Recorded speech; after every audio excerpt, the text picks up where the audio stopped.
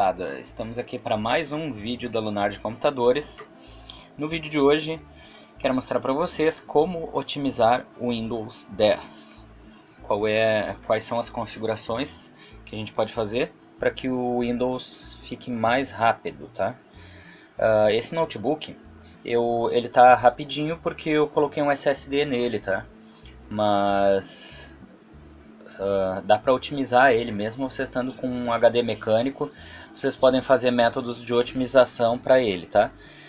Qual é o primeiro método de otimização tá? Isso se vocês não quiserem usar uh, os recursos uh, mais novos do do Windows tá? Peraí que acabou a bateria. Tá então o que que eu faço primeiro sempre tá?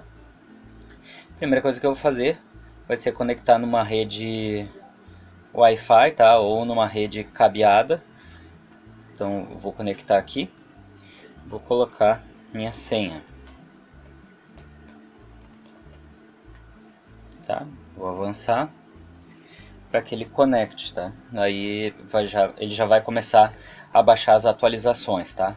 Uh, não vou falar hoje sobre antivírus, eu vou falar só sobre a otimização, tá? Então a primeira coisa que eu vou fazer vai ser dar uma aliviada na barra de ferramentas, tá? Eu vou tirar aqui da barra de ferramentas, eu vou tirar esses ícones aqui, tá? Então é botão da direita, vocês podem ver aqui, ó, mostrar Cortana e mostrar botão de visão de tarefas. Vou tirar o, a visão de tarefas, botão direito, eu vou tirar a Cortana, tá? Eu vou tirar também esse programinha de gerenciamento de e-mails, da, o mail da Microsoft, porque nenhum dos meus clientes usam. Quando eles usam, eles usam o Outlook, então ou usam direto via webmail. Então é botão da direita e desativar barra de tarefas. Ok, a barra aqui já está mais limpa, tá? Então vocês podem ver que eu instalei o Macrium Reflect porque eu fiz a clonagem, tá?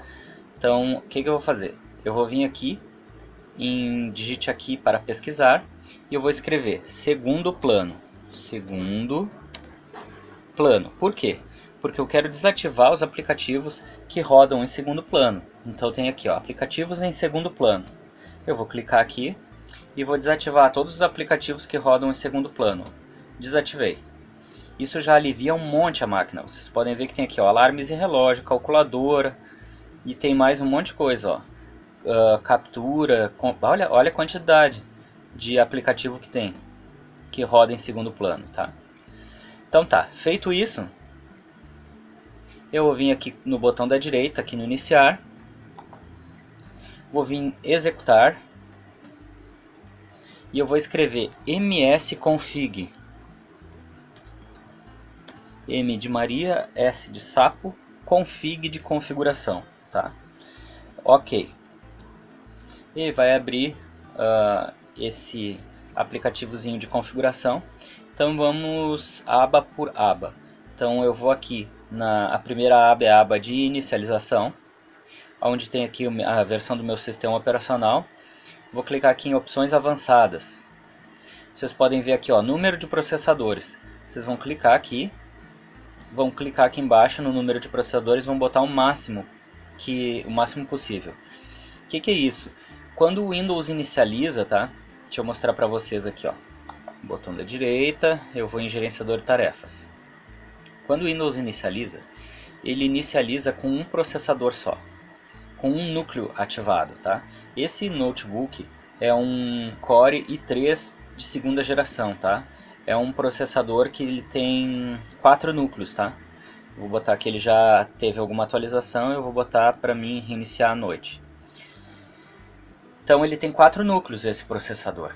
Ele inicia normalmente com o primeiro processador. Quando o primeiro núcleo chega em 50%, ele aciona o segundo e aí baixa o processamento. Quando ele chegar em segundo por, 50% do segundo núcleo, ele aciona o terceiro e aí diminui o processamento. Então ele fica assim, ó. Ele fica como se fosse um eletrocardiograma, vocês podem ver aqui que ele dá picos, mas aí ele vai dar um pico, quando chegar em 50% ele vai acionar o segundo processador. O que acontece? vai dar uma aliviada, então vai baixar o processamento, aí vai continuar trabalhando, chegou em 50% ele aciona o outro núcleo e assim uh, consecutivamente até acionar todos os núcleos do processador. Vocês podem, com essa opção aqui, vocês podem deixar já ativado na inicialização todos os processadores. E aí ele nunca, e aí ele, claro, não vou dizer nunca ele chega a 50%, porque ele vai chegar em algum momento 50%, né? Mas ele não vai, como esse é um processador de quatro núcleos, ele não vai precisar chegar três vezes em 50% para acionar o quarto, né? Então ele vai ir suave até o uso de 50% do quarto núcleo. Então isso deixa o computador mais rápido. Aí vocês podem perguntar, bah Lunard, mas eu vi ali a memória máxima, por que, que tu não coloca a memória máxima? Porque aí ele não tem a memória para fazer o swap, tá? Ó, tem 4 GB de memória, se eu ativar aqui, ele vai rodar já com os 4 GB de memória, ele não vai ter memória para o swap. Então isso aqui a gente deixa ele desativado e deixa o Windows gerenciar a memória RAM, tá? Uh, não tem como vocês... Porque a memória, ele está usando toda a memória, ó. Vou mostrar para vocês aqui, ó, a memória, tá? Então, na memória aqui, ele vai estar tá usando toda a memória que vocês têm, tá? Ele está marcando aqui 3 GB. Pode ser que ele, ele tenha sido instalado aqui o Windows, 60, o Windows 32 bits. Ah, sim, foi instalado o Windows 32 bits, ó. Por isso que ele está reconhecendo só 3 GB. Então esse computador eu vou formatar ele de novo. Para mim, esse aqui era um SSD que eu tinha aqui no, no estoque e eu me esqueci que eu tinha feito um teste no netbook que o processador não é 64 bits, o processador é 32. Então eu vou ofertar esse SSD para o cliente, é um cliente que não tem muitos recursos e ele precisa da máquina para fazer as aulas dele e a gente vai ofertar esse SSD, a gente não vai cobrar nada. Então eu vou pegar um SSD que eu tinha aqui e vou dar para ele. Então eu, tô, eu peguei um que eu tinha aqui, que já estava com o Windows instalado, mas eu vou formatar ele para ele reconhecer a quantidade máxima de memória. Mas ele já larga reconhecendo o máximo. Como é 32 bits, 32 bits ele reconhece 3 GB de memória. Ah, mas está mostrando 2.7. É porque ele rouba a memória para a placa de vídeo, tá? Então ele já larga com a, com a quantidade máxima, eu não preciso ajustar ali. Agora o processador não. Então tá, vou deixar o processador ativado, memória deixa o Windows gerenciar. Ok, agora eu vou para a segunda aba, que é de serviços. Aqui embaixo, ocultar todos os serviços Microsoft. Eu vou marcar aqui para ocultar todos os serviços Microsoft. Por quê? Porque eu não quero desativar nada da Microsoft para não dar rolo no Windows. Os serviços Microsoft eles são muitas vezes essenciais, essenciais para o funcionamento do computador. Então eu não vou desativar nenhum para não dar rolo, tá? E aqui, o que, que eu vou desativar? Eu vou desativar o Macrium, porque eu vou desinstalar ele depois. Eu vou desinstalar tudo isso aqui, ó. Ó, Synaptics é o do, é o do mouse, tá? Uh, Remote Procedure Call RPC. Isso aqui também eu não vou usar, então deixo desativado, tá? Provavelmente isso aqui é algum software que eu devo ter instalado para fazer algum teste, tá? Deixo tudo desativado. O que, que eu deixo ativado aqui? Eu deixo ativado quando tem um antivírus só. Então o antivírus eu deixo ativado, o resto tudo desativado, tá? Uh, se eu apertar aqui de novo, ele mostra os serviços da Microsoft, ó. Então é serviço de roteador, serviço de gateway. Eu não vou desativar isso aqui porque senão alguma coisa para de funcionar, tá? Uh, agora, ok. Depois que eu terminei aqui, eu venho em inicialização, não mostra nada aqui. Mas, se eu clicar aqui, ó, abrir gerenciador tarefas, ele vai mostrar o que está habilitado na inicialização. clico aqui em status para ele colocar na ordem. E aí vocês podem ver aqui, ó, está habilitado o antivírus, está habilitado o Synaptics. Eu vou desativar. Meu mouse funciona mesmo sem isso. Vou desativar o OneDrive, que o OneDrive, bah, o OneDrive pesa bastante na máquina e desativo o Macrium. O que, que eu deixei ativado? Só o antivírus da Microsoft. E se eu tivesse um outro antivírus aqui, um E7, um Norton, qualquer um outro, ele, eu também ia deixar ele habilitado. Tá? O antivírus tem que ficar habilitado. Ok? Então fechei aqui. Agora eu vou clicar aqui em aplicar. E ele vai dizer para mim que eu quero, e ok, ele vai dizer para mim que ele quer reiniciar. Eu vou reiniciar depois, tá? Qual é o último procedimento que eu vou fazer? Vou clicar aqui no, no Explorer. Vou aqui em este computador, eu vou clicar com o botão da direita do mouse. Vou vir em propriedades.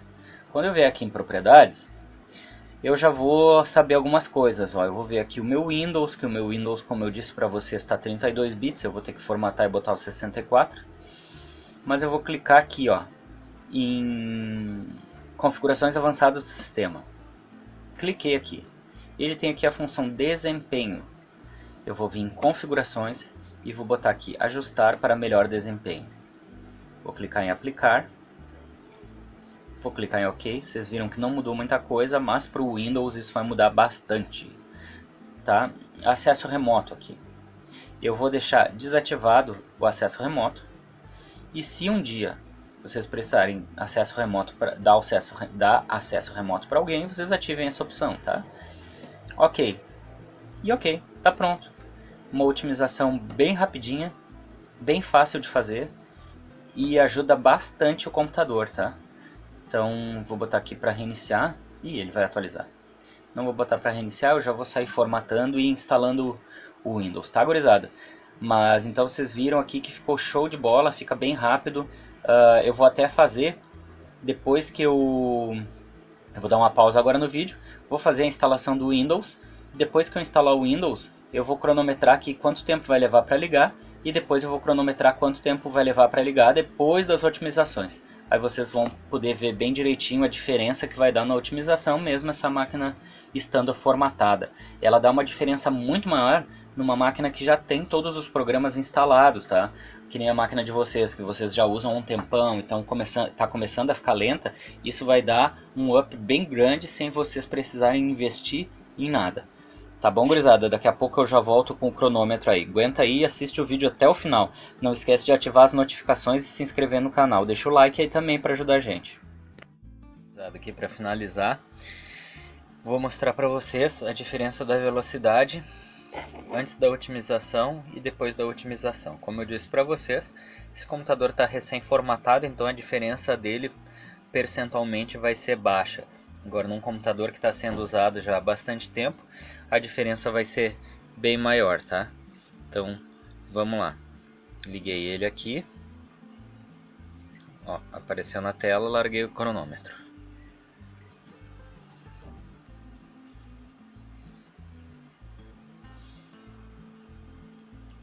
E vamos lá. Eu vou parar de gravar só depois que só depois que o Windows ficar pronto para o uso, tá? Porque eu quero medir essa parte também do carregamento do Windows, que essa é uma parte que também demora um pouco. E a diferença principal vai ser aqui, tá? Ó, então, a princípio aqui já deu. Ó, mais ou menos, mais ou menos 37 segundos, tá? Ah, ele ainda não tinha terminado de carregar. Ó, ainda tava pensando. Tava carregando o resto das coisas, tá? Vamos botar ali então 40 segundos, tá? Vamos botar 40 segundos. Deixa eu zerar aqui. E agora vamos fazer a otimização, tá? Relembrando vocês então, a primeira coisa é vir aqui e digitar segundo plano. Eu vou desativar aqui todos os aplicativos que estão em segundo plano. Vamos lá, desativando os aplicativos segundo plano. Agora eu vou vir aqui, botão direito, no iniciar e vou no executar e eu vou digitar ms config aperto enter venho aqui em inicialização opções avançadas eu vou ativar o número máximo de processadores memória não ok. Serviços eu vou desativar todos os serviços que não são Microsoft. Aí inicializar Vou vir aqui em inicializar e vou desativar, desabilitar, né, os serviços aqui e vou deixar só o antivírus. Como eu ainda não instalei um antivírus pago, eu estou só com o antivírus da Microsoft, então vai ficar só o antivírus da Microsoft ativado. Então fechei aqui, aplicar, ok, ele pediu para reiniciar, não vou reiniciar agora. Agora o último que eu vou fazer vai ser aqui no Windows Explorer, botão direito em este computador, propriedades. Aí eu vou vir em configurações avançadas do sistema, desempenho, Vou botar para melhor desempenho, aplico, ok, ok, e fecho tudo aqui. E agora vamos desligar ele e vamos ligar de novo. Já desligou. Deixa eu ver, não, não desligou ainda. Tá, agora desligou. Então vamos lá. Ligar ele, esperar aparecer ele na tela. Ó, apareceu na tela. E vamos lá. Vamos esperar aqui, vamos ver, a gente está em mais ou menos 40 segundos então, né?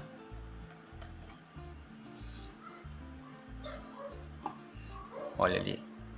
E ficou em 18 segundos. Olha, deu uma diferença bem grande, tá? Vocês viram que deu uma diferença bem grande. Então, por quê? Porque não abriu OneDrive, não abriu um monte de coisa. Então, aqui, num computador recém-formatado, deu uma diferença de 40 segundos para 18 segundos aqui, tá? De 40 para 18 a diferença. Deu isso que eu desliguei aqui o cronômetro um pouco antes. Então, a diferença é praticamente 50% do tempo, tá? Não sei quanto que vai dar de diferença no de vocês. Mas nesse computador eu melhorei bastante a performance, tá bom? Espero que vocês tenham gostado. Deus abençoe vocês. Não esqueçam de se inscrever no, no canal, ativa as notificações e deixa o likezinho aí. Um abraço. Tchau. Deus abençoe.